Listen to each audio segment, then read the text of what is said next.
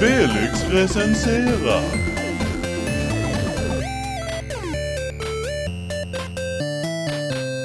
Hej och välkommen till Felix recenserar. Och idag ska vi kolla på den underbart dåliga filmen Cirkeln.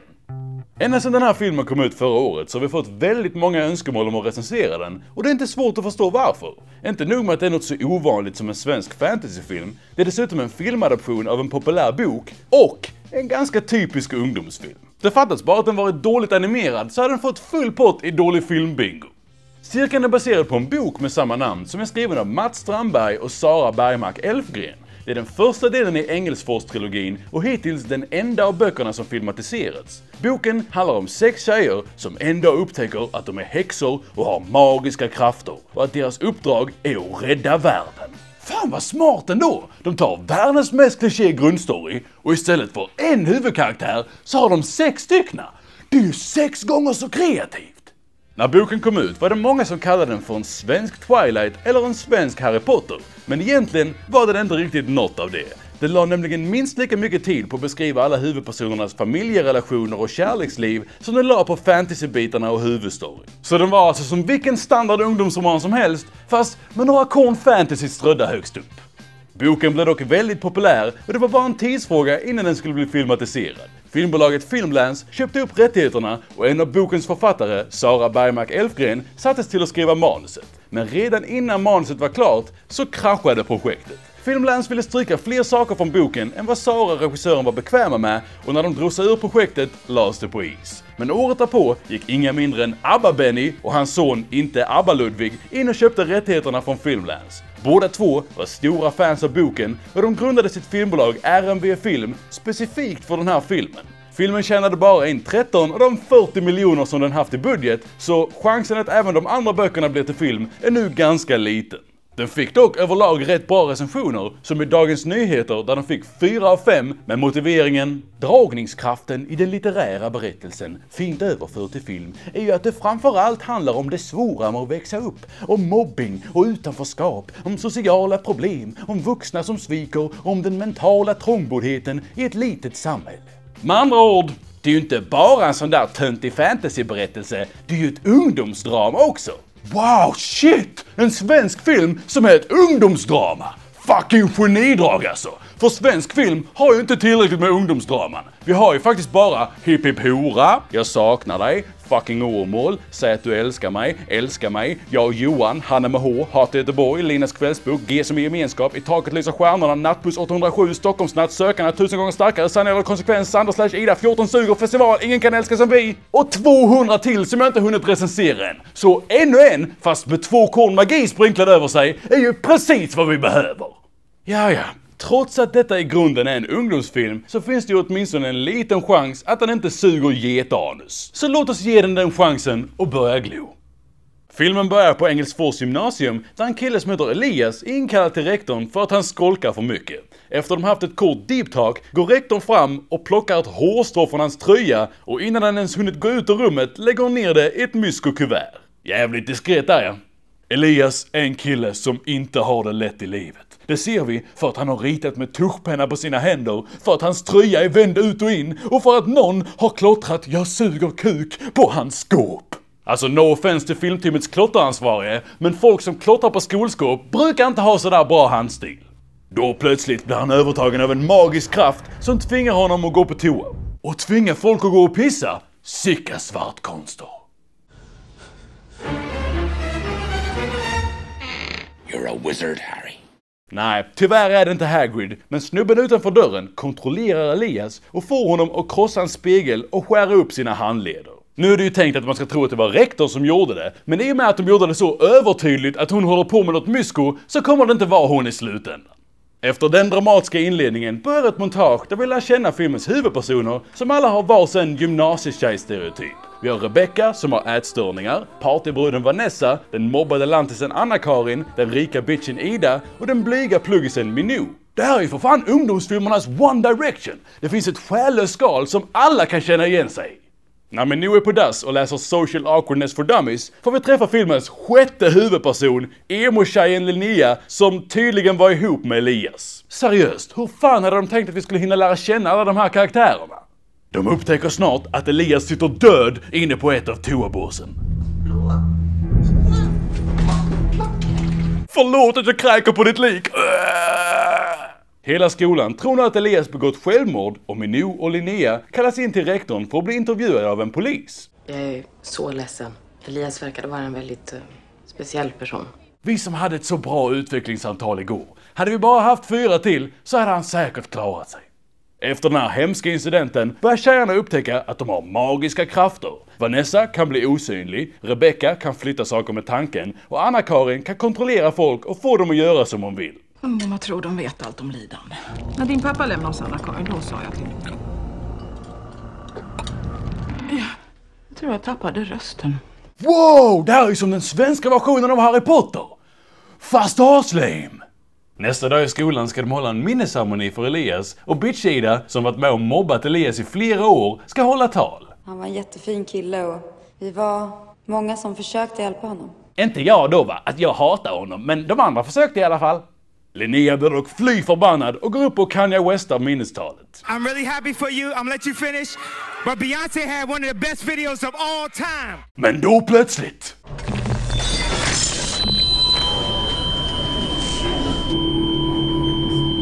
Så lampan trillade precis när Rebecca ställde sig upp och ingen reagerar på att det hände perfekt on cue.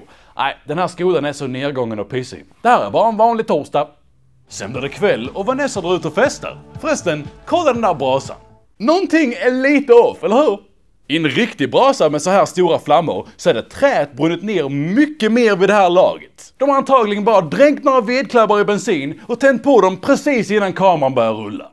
I alla fall, Vanessa dansar super och har lite myspys med sin pojkvän, men när de ligger vid sjöstranden och stirrar på natthimlen upptäcker Vanessa att månen är röd. Vad gör du? Tydligen gör den röda månen så att alla tjejerna dras iväg mot sin vilja till en övergiven park eller något. Och det är nu huvudstoryn och magin och allt ska dra igång. Men det känns verkligen inte som att man känner någon av karaktärerna. Det har gått en halvtimme av filmen, men man har bara fått en väldigt övergripande introduktion av karaktärerna. Och det är för att de tvunget ska ha sex fucking huvudkaraktärer istället för att lägga mer tid på att utveckla två, tre stycken. Seriöst, vad fan ska det fylla för funktion att ha så här många? Det enda syftet är att de ska kunna klämma in alla de här tonårstjejstereotyperna så att alla kan känna igen sig. Men det gör bara så att karaktärerna känns som skisser av riktiga människor. I alla fall, sömngångarklubbens pyjamasparty sätter igång och nästan det första de säger är Det där är aulan. Det var jag som gjorde det. Jag tror jag blev osynlig igår. Ehm, innan de kommer till det borde de väl först säga Vet någon av er vad fan som har hänt? Jag låg och sov och så helt plötsligt bara drogs jag upp ur sängen. Jag har gått i sömnen förut va, men det här var fan mig det värsta jag varit med om alltså. Och 20 andra repliker en normal människa skulle sagt innan de gick vidare till Jag tror jag blev osynlig igår. Bitch-Ida är dock inte så taggad på pyjamasparty och försöker sticka hem. Men det finns en magisk barriär runt parken som gör att hon inte kan ta sig ut. Och bara kolla på de fantastiska effekterna de använder. Alltså, wow! Det där är ju för fan revolutionerande bildspråk. I en sämre film hade de ju bytt vinkel för att få till en dramatisk build-up, eller haft en närbild när hon gick in i barriären så man verkligen såg det så ut, eller lagt in specialeffekter så att man faktiskt såg att det fanns en barriär. Men det här. Det är ju fan mig top notch rakt igenom. Ah, får en applåd. Så så. I alla fall, Ida blir medvetslös och helt plötsligt börjar hon sväva i luften. Wow. Den inlevelsen alltså. Borde vi inte reagera på det här på något sätt? Ja, jag får väl försöka då. Wow. Ja men för fan, kan det bli mer överdramatiskt? Ida har blivit övertagen av en mystisk kraft som får henne att rabbla exposition. Ni är de utvalda. Era krafter vaknar. Magin, den finns i er. Skolan är en ondskans plats. I fantasyberättelser är det ganska vanligt att det finns en karaktär som förklarar världen för huvudpersonen och därigenom också läsaren eller tittaren. I den här filmen är den karaktären bokstavligt talat en mänsklig megafon som skriker exposition. Ni är de utvalda! Förbered er! Ni är utvalda! Wow. Det här är riktigt jävla lame. Förbannelsen över Ida släpper i alla fall och hon kutar hem. Vad fan var det där? Magi. Finns magi. Hon säger ju det som att hon bara hittar lite bröd i skafferiet eller något.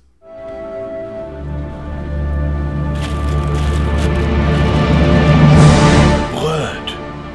Det finns bröd. Så det där skulle alltså föreställa filmens dramatiska anslag. Men alltihop känns bara så jävla off. Karaktärerna är fortfarande helt jävla ihåliga. Den stora revealen av att de har ett hemligt uppdrag är bara en enda radda med klichéer och vinklarna är inte alls anpassade till vad som faktiskt händer i bild. Och egentligen är det inte sjukt korkat att de bara leddes hit mitt i natten. Det ser ut som att alla bara går i en rak linje mot parken. Minou går ju mitt på en väg och ser ut att korsa en fucking järnväg. Tänk om hon blivit påkörd. Då hade de utvalda redan varit körda. Och Anna-Karin bor väl dessutom på landet, så börjar hon gå flera timmar innan de andra i och med att alla kommer dit samtidigt. Hur som helst, de bestämmer sig för att lyda vårdnaden som tog kontrollen över dem och inte berätta för någon annan om det som hänt. Därefter får vi ett jävla träningsmontage komplett med montagemusik där de övar på sina krafter. Anna-Karin upptäcker att hon är pissbändare och kompisbändare också. Om jag får välja så vill jag kunna kontrollera kompisar och piss. Fråga mig inte varför. Vanessa använder sin osynlighet för att snatta kläder mitt framför ögonen på alla i butiken. Hur jävla dum i huvudet är hon egentligen? Hon kan ju bara plocka på sig alla kläderna och sen göra sig osynlig och sticka därifrån. Alltså står det helt jävla still i hennes skalle eller? Minou, som inte har upptäckt vad hennes kraft är än, försöker förflytta saker med tankekraft, men det går inte så bra. Fan, då är jag inte ballografbändare heller. När hennes mindtricks inte funkar går hon in på google och söker på magi istället. För att vara den smarta i gänget så är hon ju helt jävla retarderad. Vad fan är oddsen för att hon skulle hitta det hon vill om hon bara söker på magi? Det är ju som att hon skulle söka på gurka och tro att det första som dyker upp är ett hemligt recept på bostongurka som hennes farmor skrev ner på en lapp när hon var liten. Alltså var lite mer specifik för fan! Efter ett tag börjar Minou och Rebecca öva tillsammans i parken och Rebecca öppnar upp sig om sina ätstörningar. Det där som Ida sa om mig, om ätstörningarna, det är typ sant.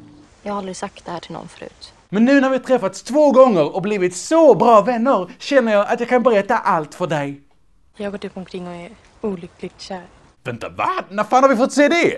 Jo, tydligen visar de en bild där Minou tittar på en av sina lärare precis i början av filmen och det skulle vi då omedelbart fattat betyder att hon är kär i honom. Det där kanske duger som en påminnelse om man har läst boken och redan vet att Minou är kär i honom, men för alla oss som inte läst boken så duger det fan inte! Rebecca har haft konstiga drömmar om att hon går i en skolkorridor och direkt efter det här djupa samtalet ska hon till rektorn på utvecklingssamtal eller något. När hon går i korridoren efteråt börjar det som hände i hennes dröm hända i verkligheten. Samma kraft som tog över Elias får nu henne att gå upp på skoltaket för att hoppa till sin död. Skurken måste ju fan vara självmordsbändare. Allt han gör är att få folk till att begå självmord.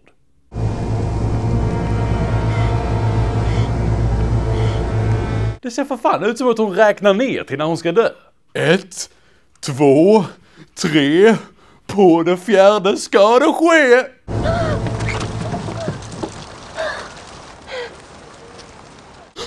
Shit, jag dog nästan! Måste lägga upp det här på Insta. Tog nästan självmord idag. Hashtag livet. Hashtag nofilter. Men den mörka kraften, trademark, är för stark för Rebecca och hon hoppar till sin död. Och det skulle ju lösa en hel del. När Minou får veta det hamnar hon i chock.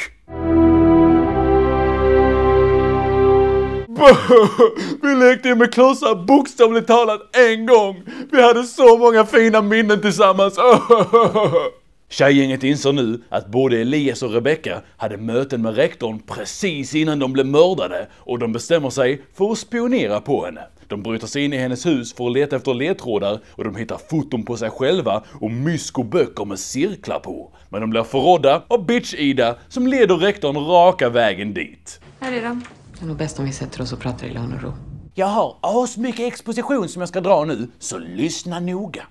Seriöst, scenen som kommer nu är bara en enda enorm infodump. I fyra jävla minuter går rektorn igenom att de är häxor, vilka krafter de har och vad hela deras uppdrag är. Men replikerna är så styltigt skrivna och rektorns delivery är så jävla tråkig att allting bara faller platt. Det är ungefär lika spännande som att lyssna på när Kristina Lund läser en 2000 sidor lång uppsats om grus. Jag har alltid undrat hur det skulle vara om min mamma och min pappa pappa eller Erik Lindegren i rasande fart skulle rusa in här och helt utan förvarning helt enkelt krossa mitt näsben.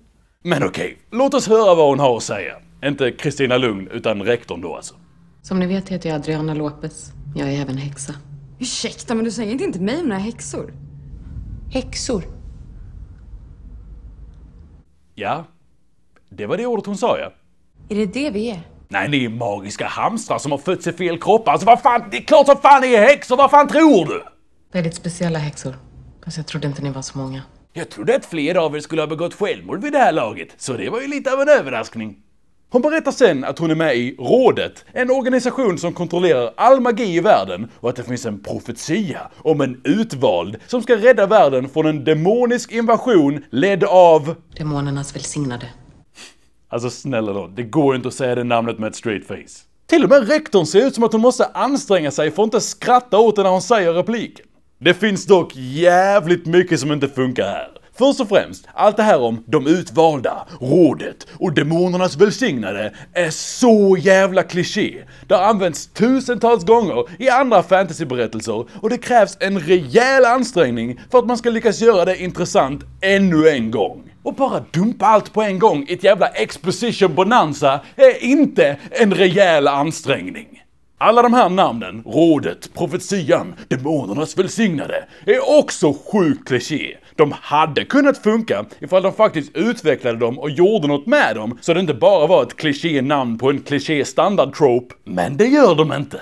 Det finns ingen backstory till profetian. De förklarar aldrig varför demonerna behöver hjälp av en utvald häxa och hur de ens kan kommunicera ifall de inte befinner sig i samma värld. Och rådet, som de snackar en jävla massa om, är inte ens fucking med i filmen! De bara namedroppar det lite då och då, trots att det inte har någon inverkan på huvudstoryn, så det är verkligen totalt onödigt att ha med. I alla fall, efter deras magiska fucking utvecklingssamtal delar rektorn ut lite papper. Lägg ett hårstrå i kuvertet. Ange namn och vilka krafter ni har utvecklat. Och efter ett kort montage där allt går i slow motion, ni vet för att göra det mer fartfyllt och spännande, får vi ännu en jävla expositionsscen som är lika fucking lång som den förra. Alltså snälla någon, filmen är två och en halv timme lång. Var ni tvungna att klämma in all exposition på åtta jävla minuter? Rektorn delar ut de där cirkelböckerna vi fick se innan. Det här är Mönstrens bok. Den har använts av häxor i alla tider. Och sen börjar hon berätta att alla häxor har ett element. De sex elementen.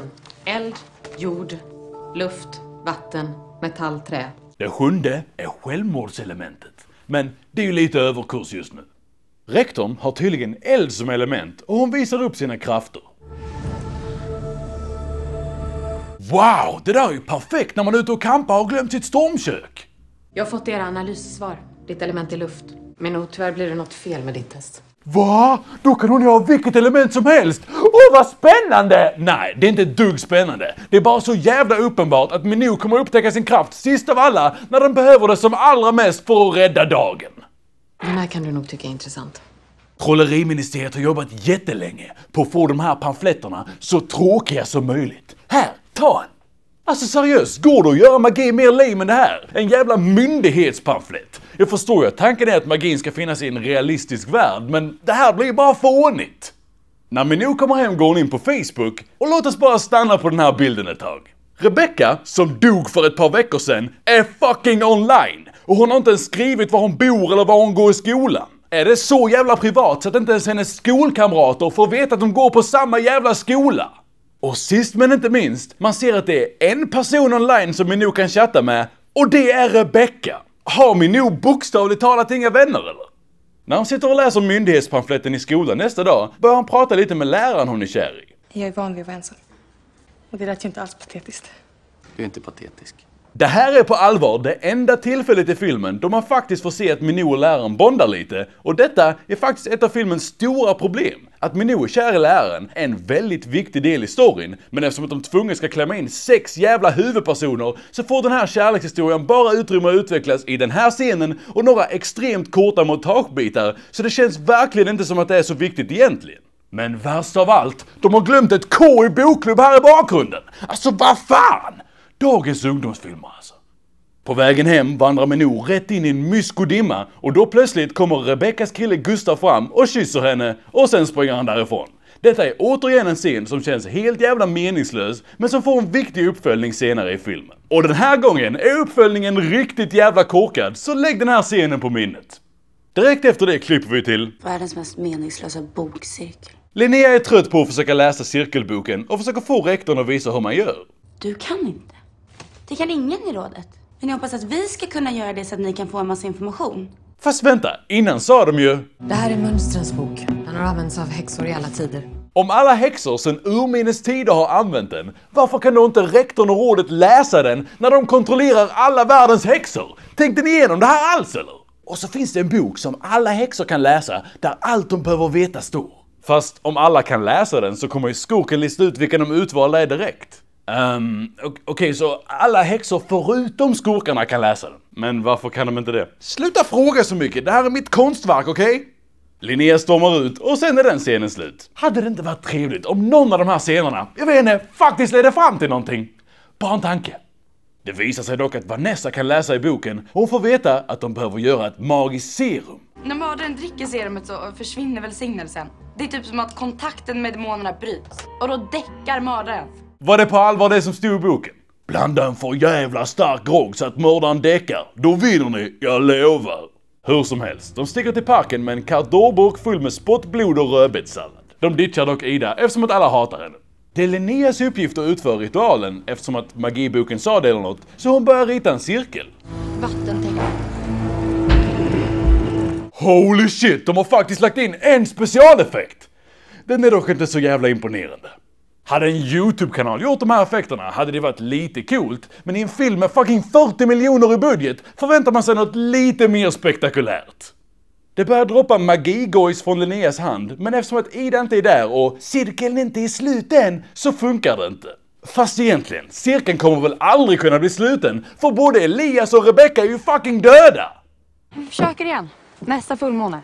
De väntar dock ett jävla tag med att försöka igen, för det hinner bli både Lucia och nyårsfest innan de ens kommer på tanken att prova igen.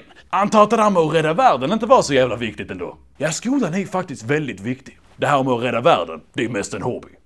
Det enda av vikt som egentligen händer i Lucia-scenen är att Ida får en ny vision och berättar att hon lärt sig läsa Mönstrens bok. Anna-Karin har nu börjat missbruka sina krafter som fan. Hon har fått alla i skolan att rösta fram henne som Lucia, hjärnkontrollerat Skull Candy-Kalle här till att bli kär i henne och fått flera av Idas polare att bli hennes vänner istället. Egentligen, varför är inte bara Anna-Karin den utvalde? De andra tjejerna kan ju knappt ens bygga ett torn med klossar, men hon kan fucking hjärnkontrollera en hel skola. Hon är ju överlägset bäst på att använda magi. Hon skulle säkert kunna ta över hela världen om hon bara var lite ambitiösare.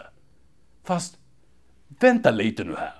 Om mördaren nu är någon på skolan, den där läraren kanske, så borde han ju märkt vad Anna-Karin höll på med för länge sen Han måste ju nästan aktivt anstränga sig för att missa att skolans största mobboffer helt plötsligt blir en fucking prom queen som alla dyrkar. Särskilt med tanke på att han aktivt letar efter de utvalda på skolan. Och om man kunde upptäcka Elias och Rebecca så borde han ju för fan inte kunna missa Anna-Karin när hon gör det så jävla uppenbart. I alla fall, Anna-Karin kommer till den här nyårsfesten och börjar hångla med sin hjärnkontrollerade kärleksslav. Du kan inte göra så här. Han är kär i mig. Han vet bara inte om den, så jag har tagit kontrollen över hans hjärna för att hjälpa honom förstå. Hon får med honom in i sängkammaren och de har lite mysig hjärnkontrollerad sexy time. Våldtäkt med andra ord. Jag älskar dig. Efteråt tänker hon att det är dags att släppa på magin och hon hoppas att han fortfarande ska vara kär i henne. Men det skiter sig. fan är det här? Fan vad du är äcklig. Fula jävla gris. Nej, nu tycker jag att du går över gränsen. Bara för att hon våldtog dig lite behöver du inte vara elak mot henne. När hon kommer hem är hennes mamma så borta i sin hjärnkontrollerade gladhet att hon helt och hållet ignorerar Anna-Karin. Okej, när fan hände detta? Allt vi fått se är att Anna-Karin fick henne till att vilja måla om taket en gång. Och vi borde måla om taket också. Ja! Har det eskalerat utanför bild sen eller? För annars är det ju verkligen helt omotiverat. Antagligen ska detta visa att inte ens Anna-Karin riktigt kan kontrollera sina krafter än, men det blir ganska antiklimaktiskt eftersom det inte har någon påverkan på huvudstoryn. Och detta är ett genomgående problem för alla karaktärerna. Inga av relationerna de har hemma eller med sina pojkvänner påverkar det som händer i huvudstoryn. De hade behövt knyta ihop familjerelationerna med handlingen mycket tydligare för att det skulle bli spännande att följa. Som det är nu blir det bara små avstickare hela tiden som inte leder någon vart. Det är som att jag mitt i den här recensionen skulle slänga in ett klipp där jag käkar en macka i två minuter bara så att ni säkert vet att jag äter ibland. Det blir bara lösryckt. I alla fall, medan de andra är på party ligger Minou hemma och sover och hon drömmer samma dröm som Rebecca hade innan. När hon vaknar så flyter det lite rök runt henne. Jävligt feta effekter alltså. Jag antar att när de gjorde de här effekterna så rök hela budgeten. Rökmöget leder henne in på toaletten. Vi är nästan två timmar in i den här filmen och all magi vi fått se hittills består av folk som pissar på sig och några sketna rökmoln. Alltså så jävla lame! Till och med fucking Barbie-filmer hanterar ju magi bättre. I alla fall, den magiska självmordsröken får Minou att lägga sig i badkaret och försöka dränka sig själv. Men på något sätt, som inte förklaras, så lyckas hon slita sig ur det i sista stund.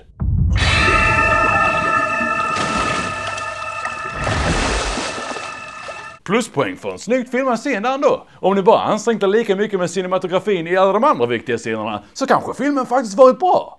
Hon sticker sen till rektorn och berättar vad som hänt och får då veta att Du har inget element. Alla människor tillhör något av elementen.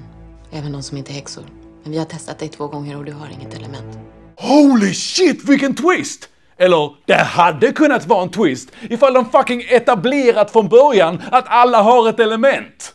Jag har hela tiden antagit att det bara är häxorna som har element eftersom att de inte fucking sagt något annat. Så den här scenen blir inget aha moment, det blir bara ett jaha moment. Och egentligen, vad fan innebär ens de här elementen?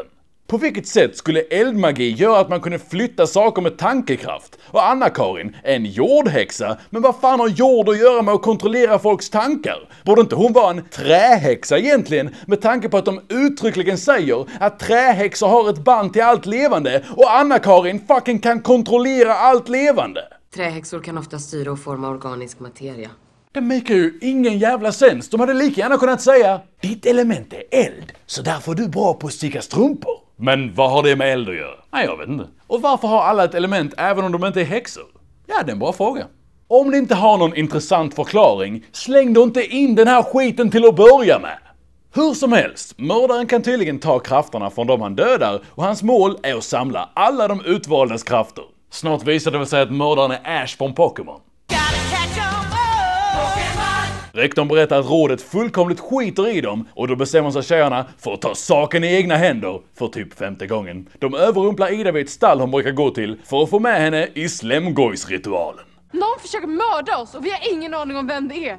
Du är den enda som kan läsa Mönstrens bok. Uh, nej, Vanessa kunde ju läsa den innan. Och det är väl för fan inte det som är det viktiga nu. Det viktiga nu är att de måste arbeta tillsammans. Alltså, jag blir så jävla trött.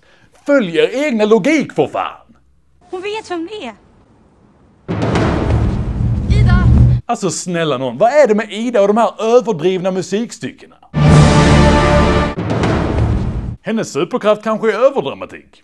De lyckas tackla ner henne i alla fall och hon ger sig. Sen visar hon en vision hon fick tidigare där man får se hur Rebecca dog. Okej, vem fan var det som knuffade henne? Det går ju knappt att se för allt flashande. Det kan inte vara han, fattar ni inte? Vem fan då? Tydligen var det Rebeckas pojkvän Gustav som puttade ut henne, så de bestämmer sig för att konfrontera honom och få honom att dricka serumet som de nu lyckas framställa. De kan dock inte konfrontera honom direkt, utan ska tvunget vänta tills efter skolan. Okej att vi ska få fast mördaren och rädda världen, men jag tänker fan inte få frånvaro från NO. Av någon jävla anledning stannar Minou sen kvar efter en lektion med läraren som uppenbarligen är mördaren. Bara kolla på honom, den där bajsbruna koftan verkligen utstrålar ondska. Jag måste bara få veta. Om du inte hade varit min lärare. Så efter att de haft totalt två riktiga interaktioner börjar de hångla och en jävla stråkorkester sätter igång. Alltså snälla någon! Det är dock nu som det avslöjas att läraren är mördaren och håll i er nu, för sättet som de gör det på är så jävla korkat!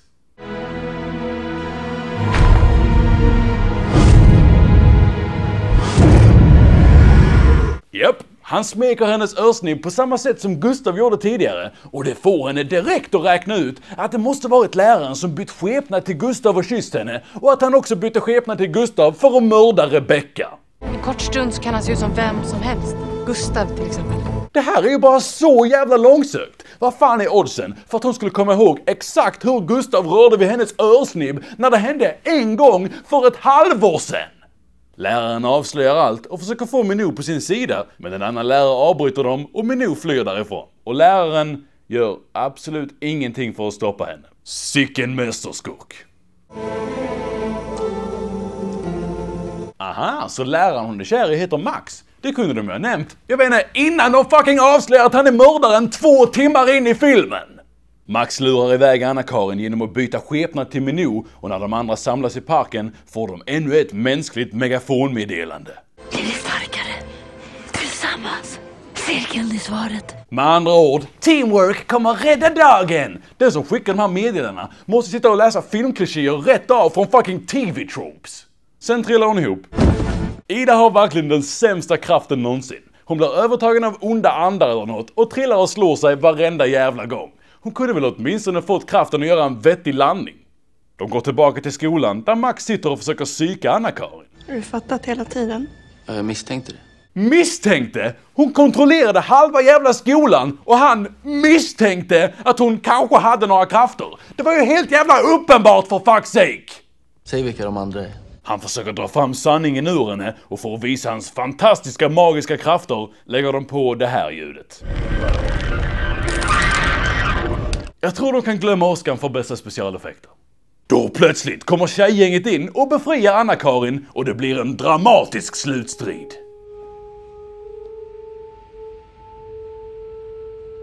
Och så ökar vi tempot lite. Få honom att dricka serumet. Anna-Karin! Och så gör vi det lite spännande.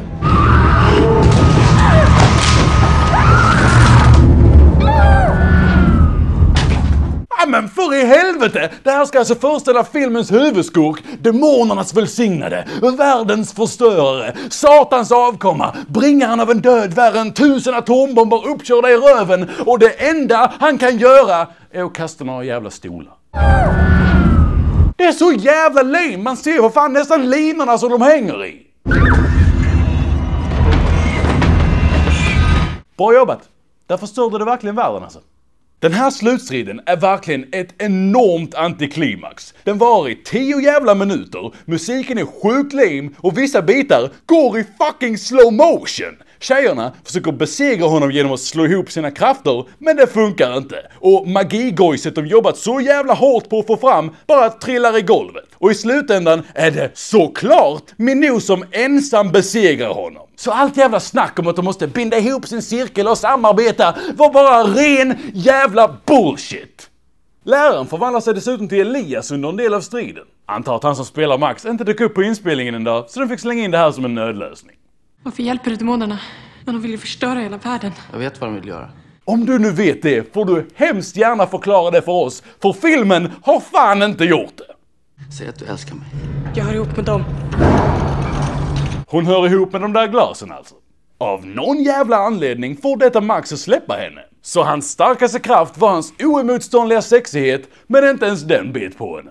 Sen helt plötsligt dyker det upp ett enormt rökmoln som Minou tydligen kontrollerar och eftersom att hon rör vid hans huvud och har mer rök än honom eller något så visar ett montage över saker Max har sett och sen vinner hon. Jag vet ärligt talat inte vad fan det är som händer här. Den här biten ska dessutom föreställa filmens absoluta klimax, men bara titta så jävla lame det är. Det är bara en enda statisk vinkel långt bort ifrån. Man kan inte slänga på spänningen i efterhand med lite specialeffekter. Det måste ju finnas där i skådespelet och bildspråket, annars blir det bara tunt och äckligt. Det värsta med hela den här slutstriden är att det hade varit så jävla enkelt att göra det bättre. Om Max hade lyckats samla på sig alla krafterna och de var tvungna att samarbeta med alla sina krafter för att vinna så hade det både blivit en mer spännande slutstrid och de hade också fått in sitt jävla teamwork-budskap. Det hade ju fortfarande varit kliché som fan, men det hade i alla fall varit bättre än det här jävla clusterfucket. Max och Minou trillar ihop i alla fall. Ja, det där var lite för perfekt trillat ja. Har vi räddat världen nu? Det känns inte så. Nej, det känns alldeles för lame för att vi ska ha åstadkommit något. Så tjejgänget har vunnit till slut. Max hamnar i koma istället för att dö av någon jävla anledning och ett tag senare samlas de vid Elias och Rebeckas gravar. Tror ni att de är här nu? Nej. De är där de ska vara. Och det är vi med. Deep fucking shit alltså. Eller ja, shit i alla fall. Men ja, ja, skitsamma, för nu är filmen äntligen slut. Så det där var den en timme för långa filmen Cirkeln.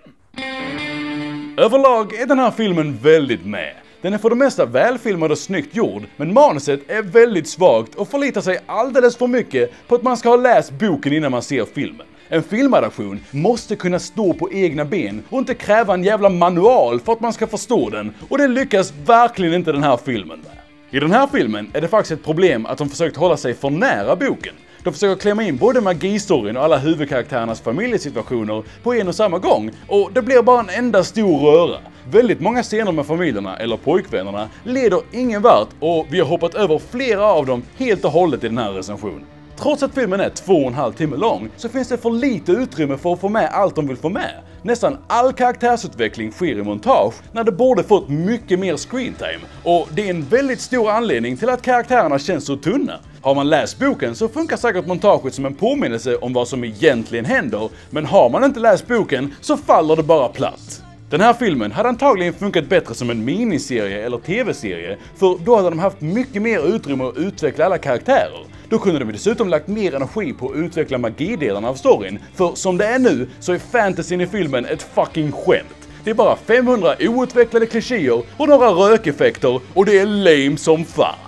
Effekterna i filmen är som sagt också riktigt jävla sunkiga. Men det hindrade såklart inte filmen från att bli fucking Guldbaggenominerad för bästa visuella effekter. Att en långfilm med typ fem halvkassa specialeffekter överhuvudtaget kan bli nominerad till en Guldbagge säger dock mer om Guldbaggegalan än det gör om själva filmen. Det finns också en hel del lösa trådar som de hade kunnat fixa om de bara läste igenom manuset en gång till innan de började filma. Man får till exempel aldrig veta vem fan det var Rebecca smsade innan hon dog uppe på taket och efter att Minou frågat Gustav ifall de kunde ses vid ett tillfälle så följs aldrig det heller upp. Hela grejen med rådet är också bara en enda enorm lös tråd. De syns aldrig i filmen och har ingen inverkan på huvudstoryn överhuvudtaget och de nämns bara för att etablera dem inför den andra och tredje filmen som antagligen aldrig kommer att göras ändå. Enligt många kritiker och flera som jag känner som har läst boken så lyckas boken kombinera spänning och magi med dassgrå diskbänksrealism på ett sätt som faktiskt funkar. I filmen försöker de göra samma sak, men de missar verkligen målet med en halv mil. Och det är framförallt för att karaktärerna känns så jävla tunna. För att bara ta ett exempel så berättas det i boken att Max är obsessed över Minou för att hon liknar hans tidigare flickvän som dog. Hade de faktiskt visat det i filmen så hade hans karaktär blivit så mycket djupare och mer intressant. Men nu känns han istället bara som en totalt ihålig stockkaraktär. Så den här filmen är ju ett clusterfuck av episka proportioner, men på det här kylskåpet finns det en övningskörningsskylt, så filmen får 10 av 10.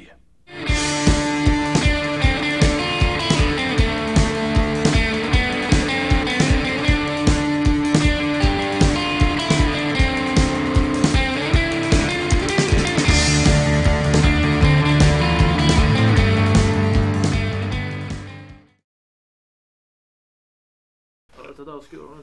Jag tar i den nu. Då är så. Då kör vi. Vet du hur lång tid det tog för henne att gå till parken? Nej. En minut. Så bord... Är det bara någon som dog eller vad fan hände?